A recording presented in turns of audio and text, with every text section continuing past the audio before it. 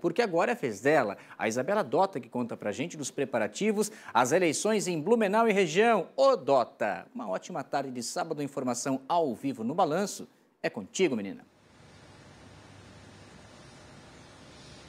Oi, Zanotto, muito boa tarde para você, para todos que acompanham a nossa programação. Aqui em Blumenau, por enquanto, tudo dentro dos conformes, a preparação está dando tudo certo. Às 10 horas da manhã, as urnas já começaram a ser carregadas e distribuídas nas sessões, nos locais de votação aqui da cidade. A Polícia Militar, ela já começou com um esquema reforçado de segurança hoje mesmo, já está fazendo a segurança desses locais de votação, dessas sessões, acompanhando a entrega dessas urnas para que tudo dê certo. E a partir de amanhã, também também com reforço, inclusive no efetivo da Polícia Militar. A partir das 6 horas, eles já vão estar mais próximos ainda desses locais de votação aqui na cidade, fazendo aí a segurança do dia da eleição mesmo, né? Para que tudo saia dentro do esperado. Lembrando algumas informações importantes aqui de Blumenau, é de que tem o transporte gratuito para toda a cidade, inclusive tem horários extras. Aumentou em 56% os horários de ônibus, isso dá mais ou menos 360 horários a mais do que o esperado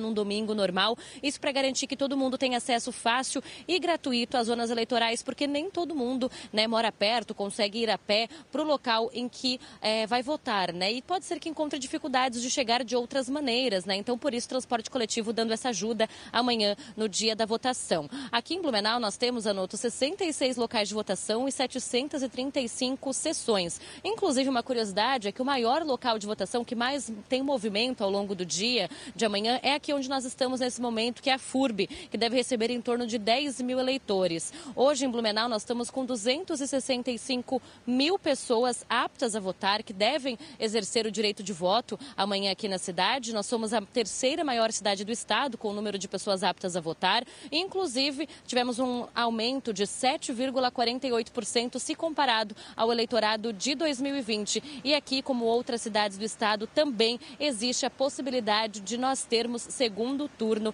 E lembrando né, que equipes né, em todo o estado e aqui em Blumenau também estarão o dia todo fazendo essa cobertura completa das eleições, trazendo os resultados sempre mais atualizados e compartilhando aí desse dia importante para a democracia em todo o estado de Santa Catarina, Zanotto. Muito bem.